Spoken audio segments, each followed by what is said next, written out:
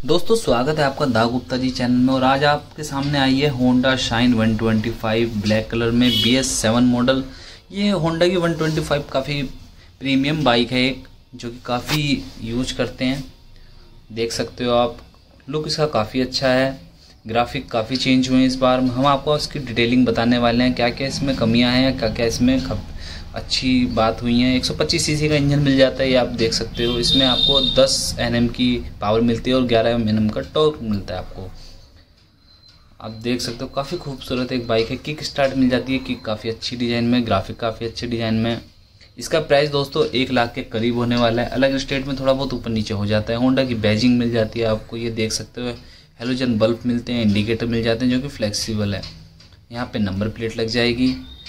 ये आपको सोकर मिल जाते हैं टेलीस्पोक ये आपको मरघाट की क्वालिटी काफ़ी अच्छी मिलेगी आपको। क्वालिटी होंडा की बहुत अच्छी होती है दोस्तों, रियली बताऊँ तो काफ़ी अच्छी क्वालिटी होती है, रिफ्लेक्टर मिल जाता है। ये देख सकते हो, यहाँ पे ये जो काफ़ी अच्छी चीज़ हुई है, बोल्ट पे कवर आने लगा है, रबड़ का, जिससे जंग वगैरह ना आए। ये काफ़ी अच्छी चीज़ है। देख सकते हो व्हील सिंपल मिलते हैं। दोस्तों, टायर में आपको बताऊँ तो ये टी का टायर आने लगा है होंडा कंपनी में। टी का टायर, ये ट्यूबलेस टायर है, दो पचहत्तर अट्ठारह का, दो पचहत्तर अट्ठारह का टायर मिलने लगा है ये ट्यूबलेस टायर है, डिस्क ब्रेक देख सकते हो, सिंगल पिस्टन, निशन की 230 एम mm की आपको डिस्क मिल जाती है, निशन की कैलिपर मिल जाती है, जो कि सेफ्टी के मामले में काफ़ी अच्छी है, यहाँ पे आपको रिफ्लेक्टर मिल जाता है। दोस्तों, जानकारी अच्छी लग रही हो तो वीडियो को लाइक, चैनल को सब्सक्राइब ज़रूर करना।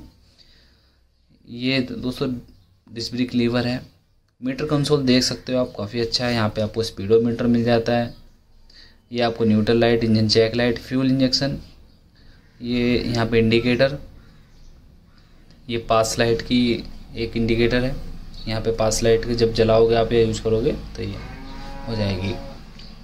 बेसिक सी आपको की मिलती है, कोई डिजाइनदार या अच्छी सी कोई प्रीमियम की नहीं है इसकी। बेसिक सी है, जो चीज़ रियलिटी है, वो रियलिटी है दोस्तों।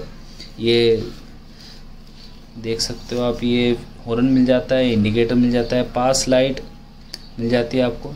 ये काफ़ी एक नया, थोड़ा इसमें वो हुआ है, अगर हम आगे को करते हैं तो पास लाइट जल जाती है और बैक करते हैं तो पास लाइट बीम होती है।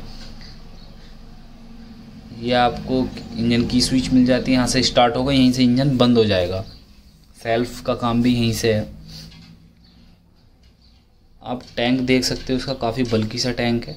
मेटल का टैंक है ई e ट्वेंटी के साथ आता है, देख सकते हो, बिल्ड क्वालिटी काफ़ी अच्छी है इसकी। ब्लैक कलर में, होंडा की बैजिंग मिलती है थ्री में। 125 की स्टिचिंग यहाँ पे मिल जाती है। ये देख सकते हो ग्राफिक काफ़ी अच्छी है रेड वाइट ये जो सिल्वर की आती है, ये बहुत अच्छी लगती है प्रीमियम लुक देती है। ये काफ़ी, इस बार ये पार्ट्स बढ़ा है। जो ई e का ये है, ये पार्ट्स इस बार बढ़ा दिया गया है। ये काफ़ी अच्छा लग रहा है प्रीमियम लग रही है बाइक देखने के बाद। फुट ट्रैप्स मिल जाते हैं बैक फुट ट्रैप्स काफ़ी अच्छे लग रहे हैं। ये हाइड्रोलिक आपको सस्पेंशन मिलते हैं। पीछे वाले शाइन का लोगो यहाँ पे आ जाता है। ये फाइबर की क्वालिटी काफ़ी अच्छी है।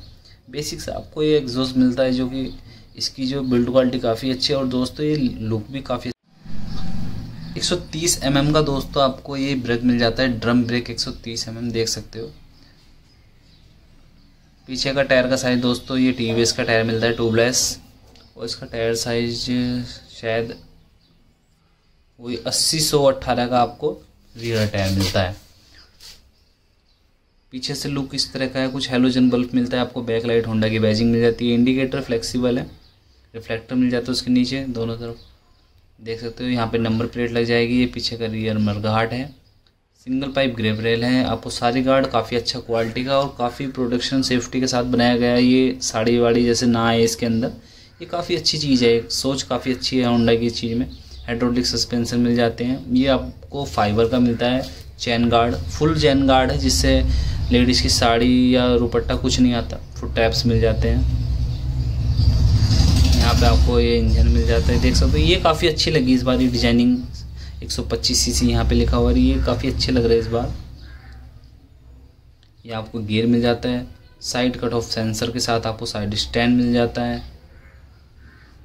ये सिंगल हॉर्न मिल जाता है आपको यहाँ पे।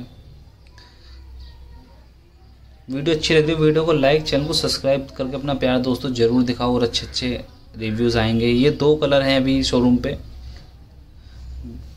दोनों कलर काफ़ी